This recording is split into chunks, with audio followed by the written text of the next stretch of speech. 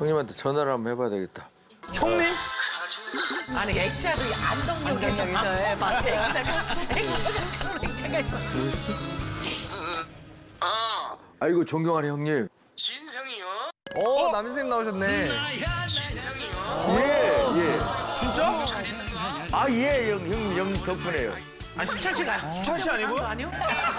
혈차이만 그 시기에 가지고 청국장을 그 어떤 시골스러운 맛을 좀 느껴보시라고 사실 좀 오, 갖다 청국장 드리고 싶어가지고? 제가 앉혀놨어요. 그거 좀 빨리 한번 보내줘라. 예, 요즘에 예. 좀 좋은 걸 잡숴였어. 예, 그 잡수, 예. 지금 바로 잡수였어 이것은 제 마음으로부터 이제 형님의 건강을 그 기원하는 차원에서 이렇게 제가 형님께 조금이라도 이렇게 좀 드리고 싶어가지고 하는 거니까 하여튼 예. 우리 동상이 또 그렇게 생각해주고. 그리고 이제 다름이 아니라 저 KBS의 그 저 편스토랑이라고 저 프로그램이 있어요.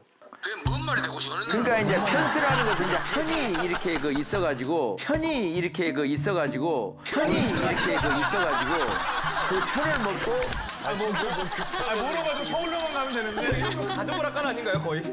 그 편을 먹고 그 편에서 이제 1등, 2등, 3등, 4등 이렇게 뽑아버리는 이제 그 등이 프로그램이에요. 분위기적으로는 제가 사실 지금 한 2등 선상에 있는데 그래도 1등을 해야 될 것 같은 이런 욕심이 좀 생겨가지고 아니, 그러니까 너 말고 어떤 놈이 1등을 하고 있어? 아 거기가 이제 우리 저 코미디계 황제 우리 저 이경규 어, 선배님이 거기 또 나오시고 경구가 음식도 한다고? 다 그거 반응. 대한민국 최고의 그 우먼 파워 우리 저 이영자 씨가 또 거기 또 나와 있고.